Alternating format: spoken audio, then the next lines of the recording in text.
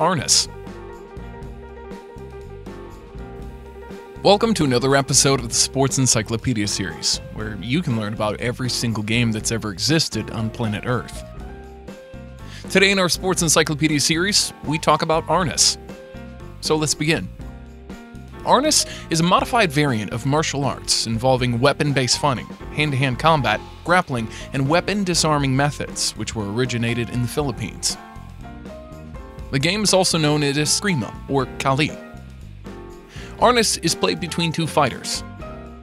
The objective of the game is to earn points by legally attacking the opponent using a stick. The stick, cane, or baron is around 28 inches long. Now, let's talk about how to play Arnis. While doing Arnis, participants are required to wear padded vests and shirts and sleeves and headgear. Participants are only allowed to hit their opponents above their thighs. Arnis has a 4 second rule, which restricts the participants from making the same strike more than twice in succession.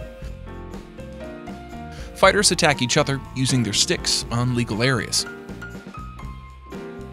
When a participant breaks a rule, officials give a warning before disqualification. How to win Arnis. At the end of the game, the fighter with the most points wins.